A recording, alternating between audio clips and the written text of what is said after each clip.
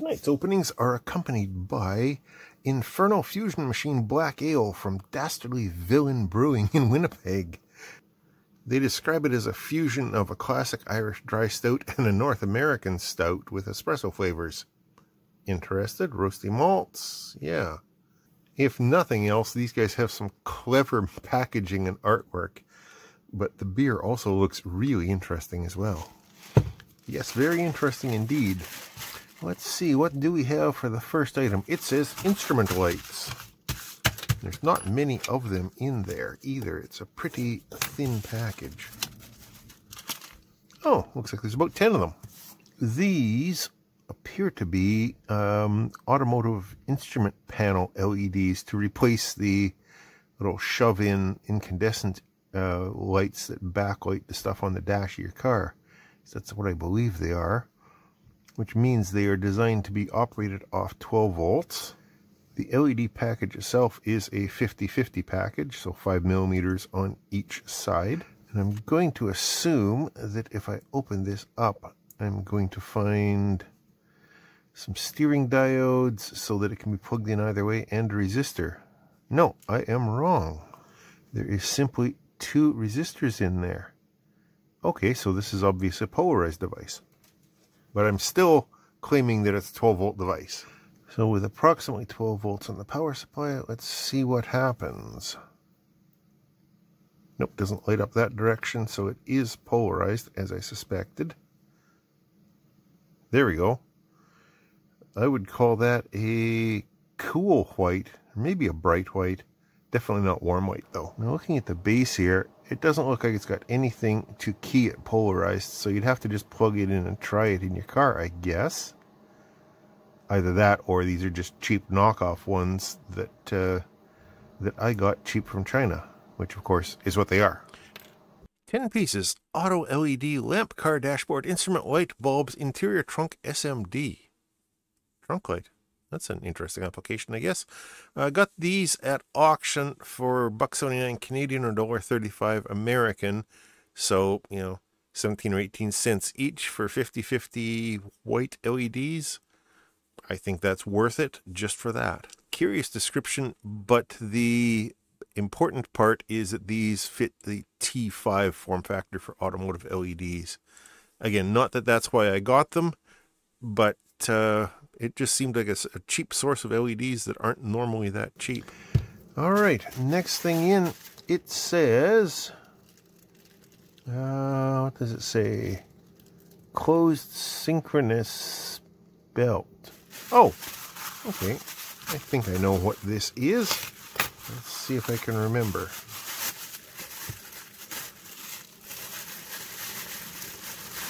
Yeah, these are an assortment of uh, timing belts. This one is a 200 millimeter GT2 or GT6-2 something. I'm not 100% familiar with these things, but this is, I think, the type of timing belts that are used with 3D printers. But these ones specifically, I got just to to tinker with, to have an assortment, um, so that I can do some experimenting with some stepper motors and some gearing and mechanical stuff. I am not at all very good with mechanical stuff and precision things like that. So I thought I would get a small assortment of these. I can 3D print gears to go with them. I have a couple of gears that, that I got in the previous meal mailbag as well.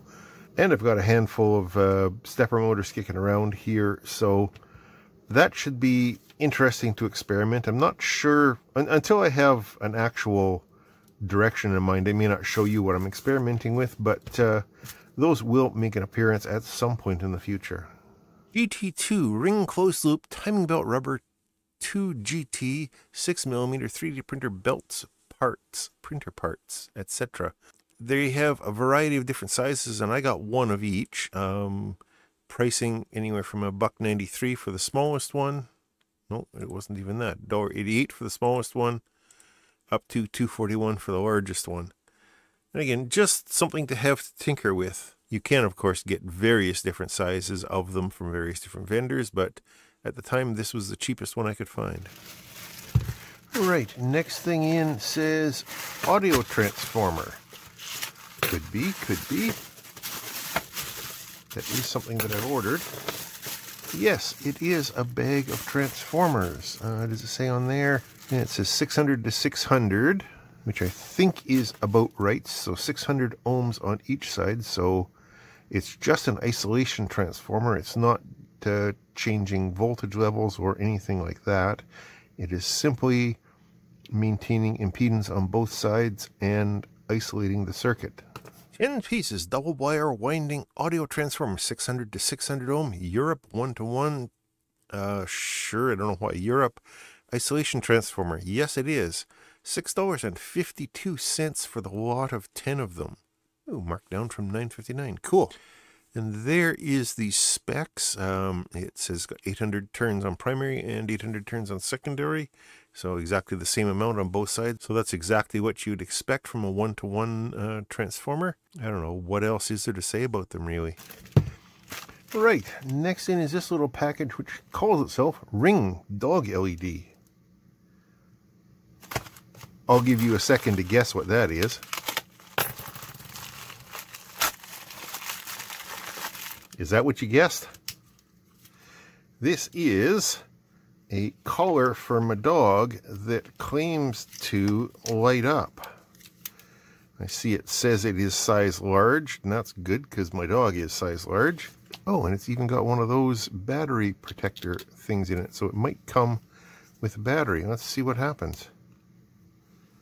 Ooh. So it's blue illumination. It looks like it's just got one LED in here which is shining down a kind of a light pipe sort of thing.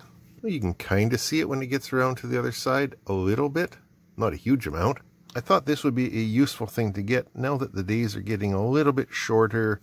The evenings when I'm available to walk the dog are a little bit darker. So maybe this will be good to just keep him and me, I guess, safe while we're out walking. LED lights, dog collars, night safety flashing pet necklace, glow in the dark collar.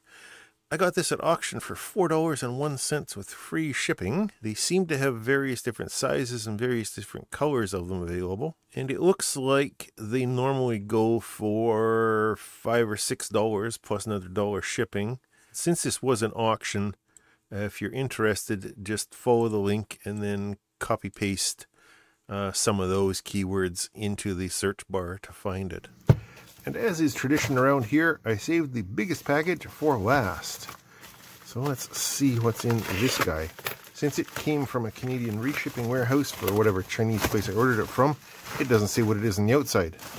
Oh, hey, wireless microphones. If that form factor looks familiar, yeah, this is probably a complete ripoff of the Rode uh, wireless microphone solution that a lot of YouTubers have been using lately. But of course, this is going to be the cheapest ripoff of that that I could find because, you know, I'm cheap that way. So in the box, we have a couple little dead cat flurfs to keep the wind noise down. We have three units. We have a 3.5 millimeter cable. We have a USB charging cable and a sec and another 3.5 millimeter and another USB charging cable. A couple of things. And then we have the receiver, which charges from USB, has a 3.5 millimeter output and a 3.5 millimeter headphone jack output, and one button on the side. Oh, cool. It's already charged. And then we have two transmitters. Oh, that's good. I I was looking at a few different ones, and I guess I ended up with the kit that's got two transmitters in it. So I think the two transmitters should be able to transmit to this one thing, and it'll give me a stereo output uh, that I can split up later. Uh, anyway, on this one, we have a microphone input, an auxiliary input, we have a little built-in microphone. Oh, that's what these things are for. These things go onto there. Kind of click in place. Something like that. I'm guessing that they hold the little dead cat on there to keep the wind noise to a minimum. Uh-oh. Oh, okay. Good. Lady come off. Uh, anyway, uh, we have a charging port on the bottom, a little LED on the bottom, and a power button, a set button, and a volume plus and minus. I'm going to take a little bit of time to go through the manual and figure out how to connect them to each other. Meanwhile, let's go and check the listing. Audio Wireless lavalier microphone interview live recording clip-on lapel mic. I got the double channel one. There's also a single transmitter one available. Um, and this one cost me $35 American or 46.56 Canadian. Oh yeah, there is the Rode Wireless Go system that this is basically a ripoff from. And they, well, that one's at auction right now for 192 bucks plus shipping. So if this cheap one works, great. If it doesn't, well, I didn't waste that much money on it. So what do we have down here? Features. Before using this, read the steps. Connect the receiver. Press the da da. da. Okay, so that's how you set it up. And I guess pair the transmitters and receivers together. One wireless microphone, two receivers, etc., etc. Yeah, doesn't say anything about the frequencies. I'm hoping a lot of these are operating in the 2.4 gigahertz range where uh, Wi-Fi and all the other free stuff are. Uh, you don't need a license for that. It's not interfering with anything. And I'm hoping this is what it is. I thought I looked that up. I hope I did. And if I didn't, I hope it is a legal frequency for me to use in Canada. What does the manual say? Frequency range between 610.5 and 669.5 megahertz. Damn it, it's not the 2.2 gig that I thought it was, 2.4 gig. Oh, damn. I think I just wasted some money. So there's a few megahertz of spectrum that is allowed that this wireless microphone uses. Unfortunately, it auto scans and auto sets it, so I can't tell it what to use and what not to use. Huh. So this is not a good purchase, and I would not recommend it to anybody who lives in North America. If you are in other parts of the world, this may still be a viable option, but don't be like me. Please check your local regulations before you order anything. And there is the contents of today's Mailbag Monday haul. Quite a variety as always. So, I think, hope this is going to keep my dog safe. That'll be nice. These LEDs are just for tinkering with. They're so cheap I couldn't pass them up. These belts are also for tinkering with. Um, and I'm hoping I can come up with some mechanical projects that actually work. Uh, transformers you remember that telephone interface I got? Was it the last mailbag or the one before? Those go with that. And I think I'm waiting for one more thing. Otherwise, I'll start getting working on tinkering on that. And then today's great disappointment, this kit of micro, this microphone kit. Um, I'm going to see if I can return it, uh, if I'm still within the return period, and if it's not going to cost me more than it's worth to return it if I can't return it, uh, I guess we can do a teardown on it, which will make it worthwhile. And I got some cables. I am still disappointed in myself that I didn't double check and triple check that before I ordered it. Anyway, um, that aside, the rest of this I'm all quite pleased with. And I hope you uh, found this interesting. Thanks for watching, as always. Thanks to my Patreon supporters and my YouTube channel members for helping me fund my uh, experiments and mistakes and for helping to keep my beer fridge full, of course. Always a valuable uh, thing to do. Uh, yeah, uh, questions or comments down below. You know the drill. Thanks for watching. I'll talk to you later.